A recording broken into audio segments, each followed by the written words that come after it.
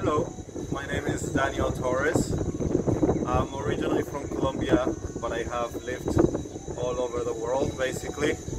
Um, I have lived in the US, in South America, now in Asia at the moment. And if I talk about some traveling interesting experiences, um, I would mention Australia. I think Australia is a place where uh, you know there's a lot of nature. Uh, people are super nice. And, and definitely like there's good food and there's uh, yeah, a lot of nature around. So some of the things that I did there is uh, you know I rented a car. I travel all the way up north um, or let's say from Sydney going uh, north and passing by different beaches.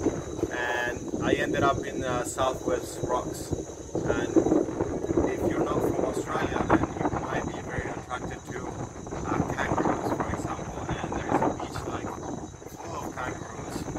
Um, and you know you can see them in their natural habitat basically. So I would definitely recommend that um, another let's say country that I would recommend is Argentina. Um, Argentina has amazing food, I think. People are also incredible. And there's a lot of stuff to do around.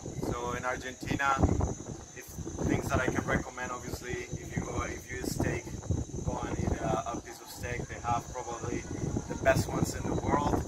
Uh, empanadas, pizza, they're very Italian, so I would recommend just to try a lot of uh, different food you can go to Bariloche, you can go to Patagonia. Once you're there, you can cross the river and ended up in Uruguay as well, which also has an amazing food. So definitely go check that out. And maybe one more. Um, let's do Italy. About Italy.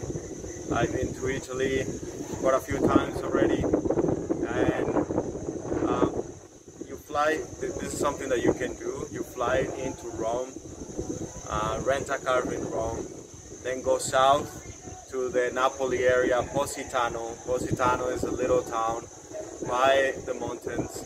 Uh, you can see the you know the the hill and you can see the basically the ocean from the, the mountain. Um, and you can keep driving up all the way up